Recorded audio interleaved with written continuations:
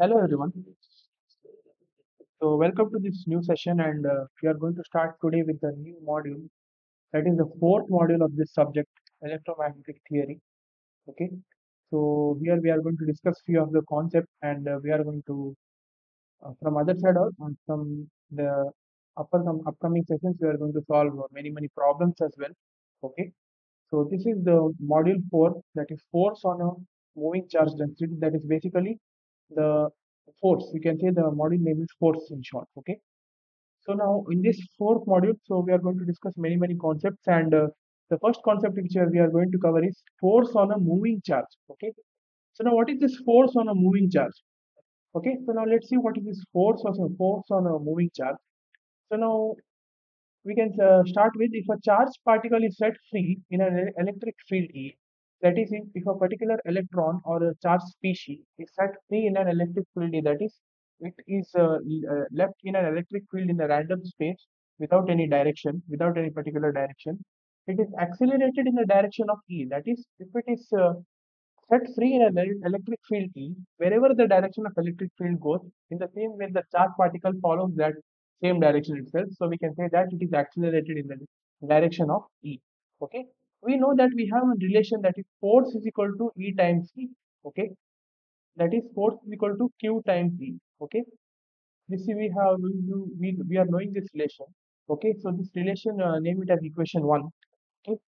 And after that also we know that F is equal to m into A. Okay. That is force is equal to mass into acceleration where this m indicates the mass quantity and this uh, a indicates the acceleration okay you might be knowing this that is the uh, you, you might have studied this uh, relation as well that is force is equal to mass into acceleration. So this equation here i've written it and named it as equation 2 okay so now from 1 and 2 we can say that we can equate these two terms that is mass into acceleration m into a vector is equal to e times v okay so that's why i've equated here these two terms. Okay so now m, m into a is equal to e times e. So therefore, the acceleration part, uh, if we take it to one side, so and bring bring this marks to other side, so what we will be getting e divided by m times e. Okay, so this is one expression for acceleration again. Okay, uh, which we have derived from these two equations that is f is equal to e times e and f is equal to m times e. By equating those two terms, so we have we have got the acceleration part here. So now if a particle is moving across a magnetic field, it is accelerated at its right angle to the direction of motion. Okay. So this uh, statement indicates just now whatever we have got as our solution. That is, a particle is moving across a magnetic field. So here in this case, we have uh, uh, we have seen the electric field. In same way, for this uh, equation, we can uh, replace the electric field by magnetic field, and uh, the behavior of the charge and the mass will not change. It will remain as it is. That's why they have mentioned it here. If a particle is going across a magnetic field, it is accelerated at its right angles to in the in the to the direction of motion. So in case of electric field, uh, how the particle is accelerated, it it is accelerated in the direction of electric field, right? So if a particle is moving across a magnetic field, what is the difference here? Is it is accelerated at its right angles, okay? That is, uh, it is accelerated 90 degree away from the magnetic field. That's why this is a small relation here in uh, if we choose the electric field and the magnetic field the direction of motion. Okay, so this point is very clear now. So the force on a current element of length dl in a magnetic field B is given by this relation that is uh, rate of change of rate of change of force that is df is given as I cross B into dl. Okay, so now name this equation here as equation 3 now. Okay, and here I have named it as equation 3. So now the current in a conductor can be expressed as charge per unit time. Okay, that is the current in a particular conductor which is uh, uh, having n number of charges. Okay, which we can respect it. Uh, we can uh, uh, form it with respect to time. One equation that is I is equal to Q by T. That is one relation.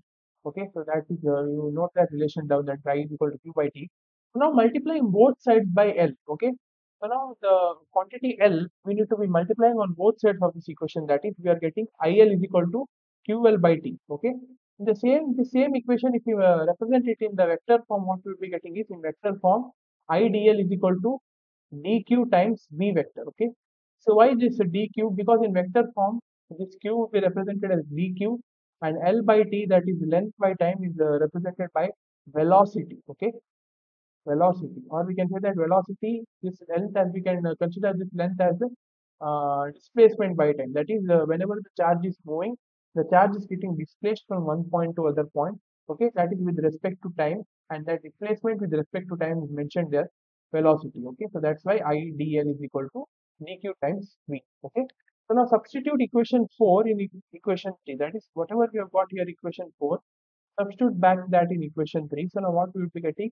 Vf is equal to so now if you cross multiply this that is idl cross vdl so now what we will be getting?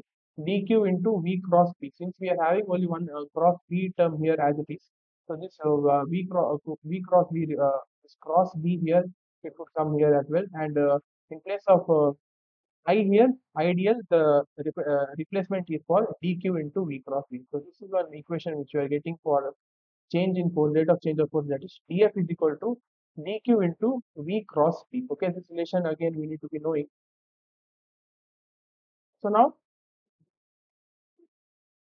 similarly for a single particle of charge e the relation for f is given as f is equal to uh, e times v cross b okay this is for a single particle particle of charge. This is the relation.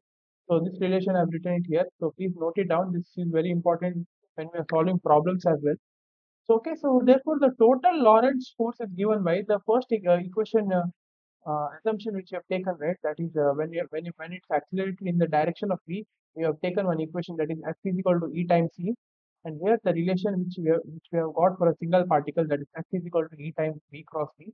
So equate uh, so add those two terms. So since it is having the same quantity f, so we need to be adding the terms which are on the right hand side. So therefore the total Lorentz force generated is F is equal to E times E plus Q times V cross V. Okay, so this is the equation again which we need to be remembering. So this is the actual force on a acting on a moving charge. Okay, it uh, depends on the electric field, the charge enclosed, and the velocity as well as the magnetic field. Okay, both the electric field and magnetic field are proportion, directly proportional to the force uh, generated here. So therefore, we can uh, conclude this uh, formula which we have got for a force acting on a moving charge okay? So this was one small derivation here okay? So similarly let's see what is force on a differential current element okay?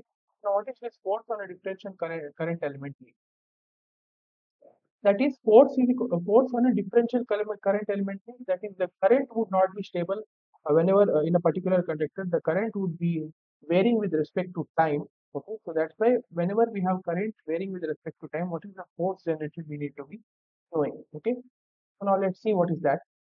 Force on a charged particle moving through the magnetic field is given by df is equal to dq into v cross v. Just now we have seen it, that relation. Okay, note it down and uh, take that as equation 1. Also, we know that dq is equal to rho v dv. Okay, this also we have studied in module 1. That is uh, rho v is equal to v dq by dv, right? dq by dv, this is d vq by dv. So rho v is equal to dq by dv. So that's why we can write that dq is equal to rho v into dv. So that's why I'll take this relation also and name it as equation 2 and substitute equation 2 in equation 1 that is in place of dq here substitute rho v into dv and rewrite this equation and name it as equation 3. Also, we know that J is equal to rho V times V. Okay, this relation, you might be knowing this. We have studied this uh, relation in one of the very important concepts which we have discussed in the previous classes. You please try to recall it. I am not telling it you. I am not telling you again and again. So this is a very important concept from where we have taken this data formula. Okay, if you want, you can refer our previous videos and check whether what is what is this relation called as. Okay, those are regular to this channel, they might be knowing it. So now substitute equation 4 in equation 3. Okay, we get df is equal to j cross v dv. Okay, whenever we substitute this uh, in place of j is equal to rho v times v. Okay, if we substitute this back in equation 3, we will be getting df is equal to j cross v dv. Okay, yeah. So this is one more equation where this j is called as the current density. Okay, so now Lorentz force equation for differential current element is given by df is equal to idl cross b. Okay, this where this i represents the change in current with respect to the uh, length of the conductor and if b represents the change in magnetic field okay?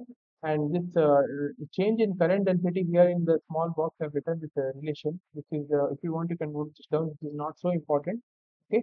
But here I have uh, written it to you all. That is j into dv is equal to kds into idl okay? So that's why in place of j dv I replace it as uh, f vector since uh, j j j is equal to rho v times v. So if we if we take the integration of this uh, velocity, it could be uh, converting into dv, and that dv, that is the rate of change of velocity, is the displacement uh, is uh, given by displacement by time, and this displacement is of course uh, when the relationship between current density and uh, force is applied. So therefore, this j dv is uh, replaced by this force quantity. So force is equal to line integral of I dl cross b Okay, so force is equal to minus I. If we take this uh, current uh, outside the integral, the current might be either negative or positive. So that's why for a safer side, I've taken this I as negative. So now this is line integral of B cross dl. So therefore, this is one uh, one more relation which we are obtaining that is F is equal to I into L cross B. Okay, where this vector L represents the change in the length of a particular conductor with respect to time. Okay, so that's why. So this uh, relation also is very, very important. So please note it down. So let's come back to this equation.